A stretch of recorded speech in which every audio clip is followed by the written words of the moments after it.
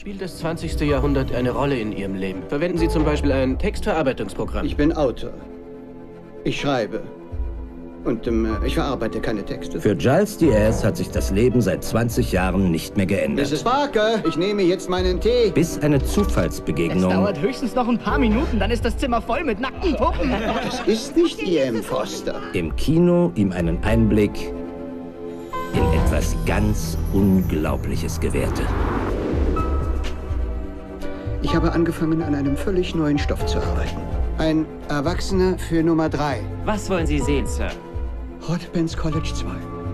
Danke. Ronnie Bostock.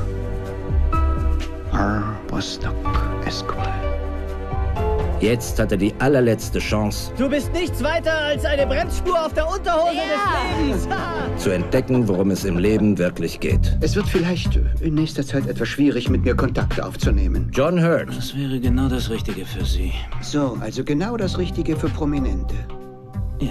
In Europa ist es häufig so, dass ein junger Mann von dem Wissen und der Erfahrung eines Älteren profitiert.